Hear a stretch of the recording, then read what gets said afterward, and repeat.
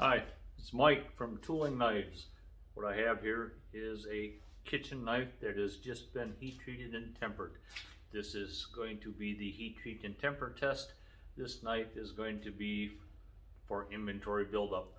Heat treating makes the steel very, very hard, but it also becomes very brittle. Tempering will remove the brittleness. So what I'm going to do to test to make sure that the heat treating and tempering worked and did what it was supposed to do, I'm going to take the tip of this blade, drive it into this piece of three quarter inch plywood, bend it over and tear it out of the plywood.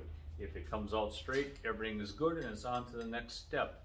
If the end of the blade were to break off, that tells me that the blade is still brittle and the tempering did not do its intended job.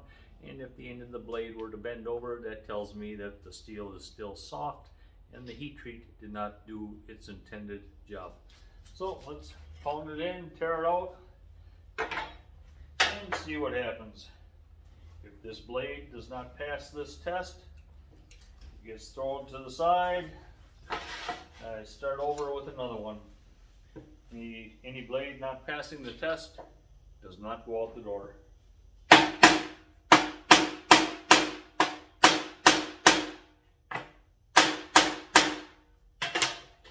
It is in there, tip is getting pretty close to coming through.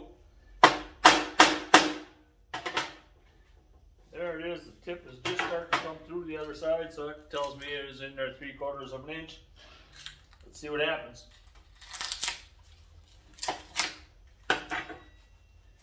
She tore out, did not break, did not bend. It is nice and straight. It's going to be a good knife for whoever ends up getting this particular blade. Hope you enjoy the video.